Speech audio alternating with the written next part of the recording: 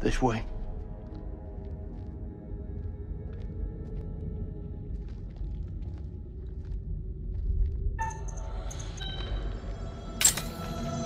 Jason!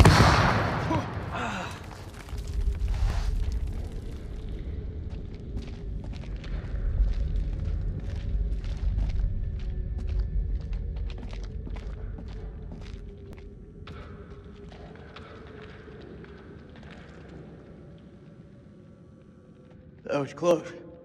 Too close. It's gotta be the Iraqis. Yeah, you think?